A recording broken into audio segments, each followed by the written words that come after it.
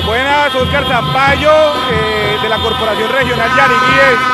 A esta hora en Puerto Wilches, la comunidad, los habitantes de Puerto Wilches se manifiestan diciéndole no a los proyectos pilotos de fracking que se pretenden instaurar aquí en este municipio, no al piloto Calé, no al piloto Platero.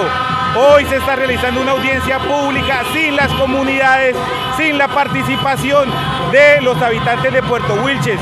No se quiere unos espacios donde se venga a compartir información, sino unos espacios donde se escuche a las comunidades, donde se establezca un mecanismo de participación y se pregunte a las comunidades de Puerto Wilches si se está o no de acuerdo con este tipo de, proyectos.